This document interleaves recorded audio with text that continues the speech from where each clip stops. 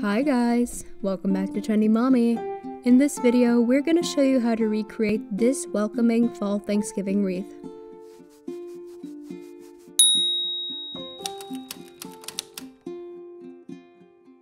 For this DIY, we're going to need fake flowers, leaves and pine cones, twine, styrofoam ring, hot glue, and gun. To start, place a plastic bag or sheet under the glue gun to prevent the hot glue from dripping on your table. Now, take the twine and place it on the back of the styrofoam ring, then fix it with hot glue. Start wrapping around and covering 3 quarters of the styrofoam ring.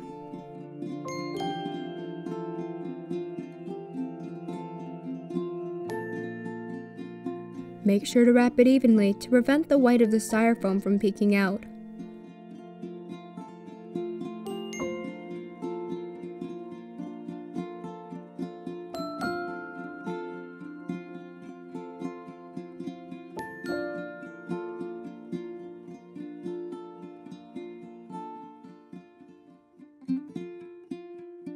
Now that 3 quarters of the ring is covered, Cut a loose end to create a hoop for you to hang the wreath on your front door. Depending on the size of your front door, you can make the hoop as large or small as you need.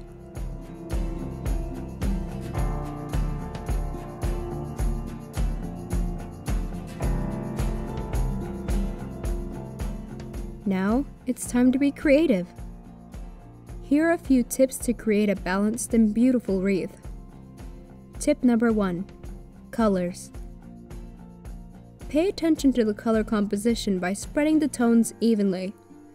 You don't want to place all of the green pieces on one side and the oranges on the other side. Instead, choose which color is going to be the dominant one and work around that. We chose the orange Gerbera daisies and the dark twigs as accent tones.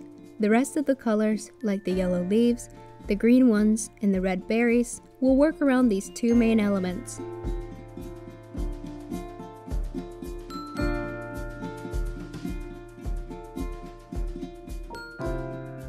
Wrap the twine loosely on the remaining part of the ring so you can cross the leaves underneath.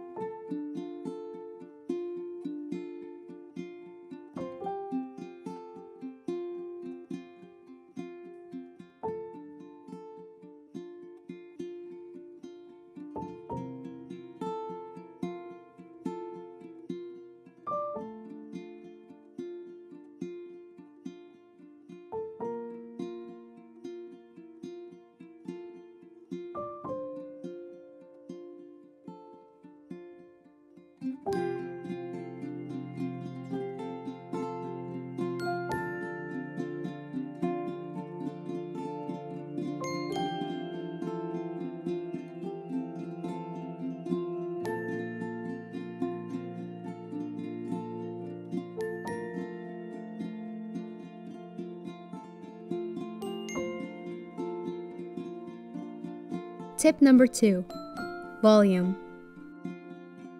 If you pick a big leaf and place it up front, you want something smaller to be placed over it to unify it within the composition.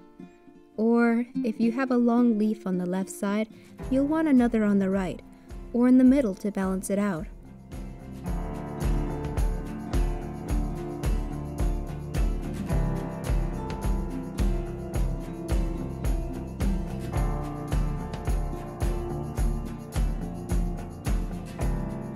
Tip number 3 Direction. This is essential to make your wreath look full and rich. If a twig is placed diagonally to the left, you'll want to balance it out by placing another twig of the same size in the opposite direction. For example, if you place the flower on the left, You'll want to balance it out by placing another one on the right and perhaps in the middle. You can play around with these tips to fit your creation.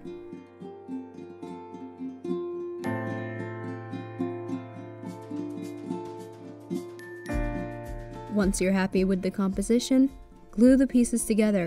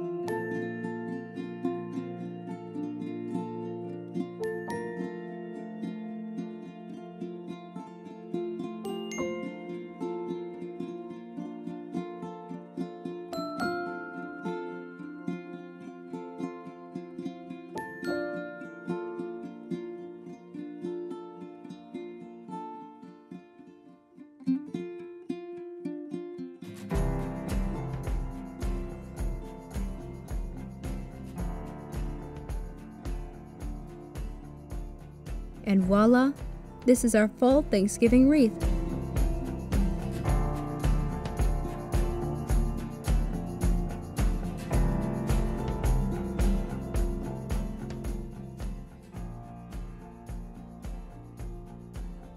If you're interested in these cute lantern leaves, check out the link in the description below to get the full instructions. We hope you find this video helpful. Leave a comment to let us know. As always, like and subscribe for more videos from us. Thanks for watching. Bye!